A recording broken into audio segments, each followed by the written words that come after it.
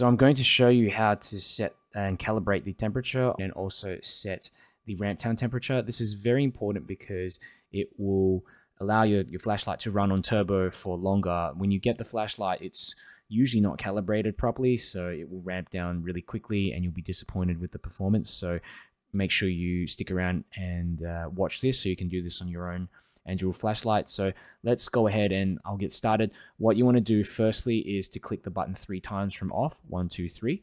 Now this gets you into the voltage mode and it blinks out the voltage. So what? So it's one, two, three, four. Uh, wait, and then one, 4.1 volts. So that's how you, it sort of measures out. Long blinks and then a short blink uh, for the 0.1.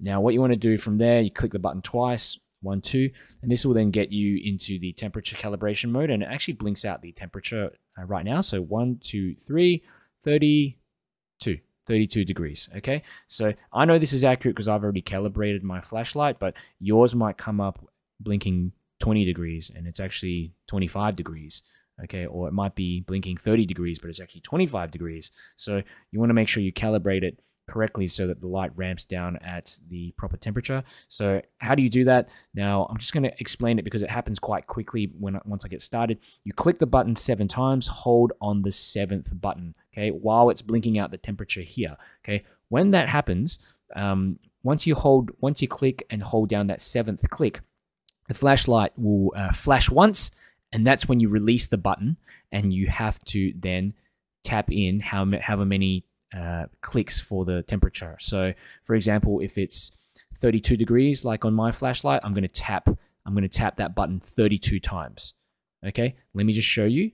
So one, two, three, four, five, six, seven. There's the blink. Let go. Now it starts 1, 2, 3, 4, 5, 6, 7, 8, 9, 10, 11, 12, 13, 14, 15, 16, 17, 18, 19, 20, 21, 22, 23, 24, 25, 26, 27, 28, 29, 30, 31, 32. 32 degrees. Okay, so now I just wait and it's calibrated to 32. Okay, so one, two, three, one, two, 32. Okay, so now the temperature is calibrated. What you want to do is calibrate and uh, set, well, set the step down temperature. So in order to set the step down temperature, you're going to need to click that button seven times and hold it on the seventh click. And you then see the flashlight flash once and again or flash a second time. On the second flash, that's when you release the button. Okay, so say you want to add another 10, 10 degrees to the final step down temperature.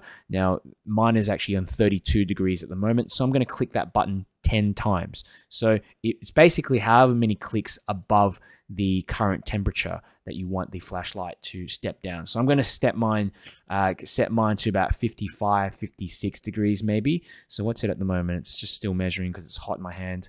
Um, still 32 degrees, I think. So I'm going to just add on however many, assuming uh, the 32 when we start. So one, two, three, four, five, six, seven. There's the first flash.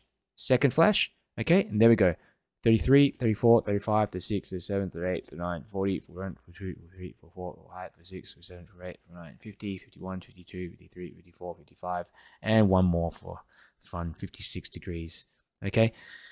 Now the light is calibrated uh, properly so that it's uh, set at the correct temperature, it knows what temperature it is, and it also knows what temperature to step down, okay, which is 56 degrees, which means it's going to run higher, and the internal components are able to take that amount of heat, even the battery. What you don't want to do is probably go too near to that 60 degrees. I mean, 55 is already probably a bit high. 60 degrees is the maximum that I would want to run.